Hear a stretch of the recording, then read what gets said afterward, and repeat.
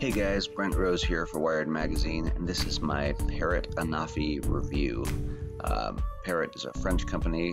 This drone is a folding drone. It's a little bit lighter than the Mavic Air, but it's also a lot longer when it's folded up, so it's a little bit more awkward to carry.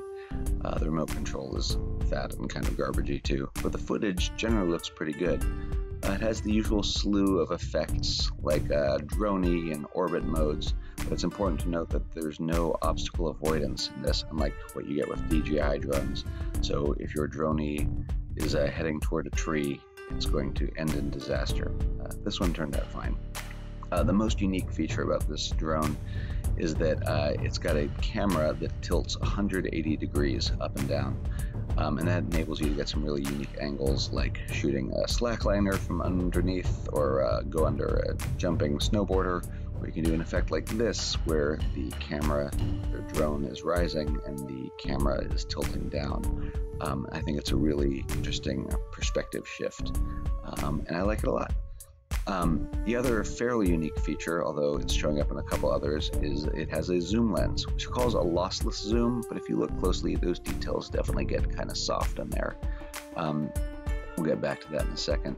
But it does enable you to do the Hitchcockian dolly zoom effect, where uh, the background seems to be moving while the subject in the foreground uh, stays more or less the same size. Uh, it's a really cool effect. Um, the Mavic 2 Zoom can do it now as well. Um, now, another feature they brag about here is HDR uh, video 4K. Um, this is normal mode. See, when you zoom in, it gets a little bit noisy. Now, good God, what is that? Uh, the HDR just looks so bad. Uh, when you zoom in, especially, you can see tons of noise, and the colors are just way off. Um, this is normal mode, flying through a forest, and again, no obstacle avoidance, so this was sketchy as hell.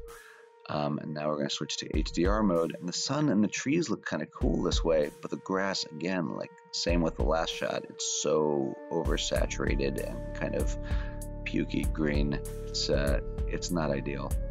Um, just one last shot here, uh, rising up with the sun in the background. So there's not a whole lot of detail in the shadow, but you could probably bring that out in post if you want. And here's the HDR version. And the trees actually look pretty decent here, but now the sun is completely blown out and all the mid ground is sort of washed out. Anyway, that's my review. Um, the Anafi is about 100 bucks cheaper than the DJI Mavic Air, but the Mavic Air is just a much better drone.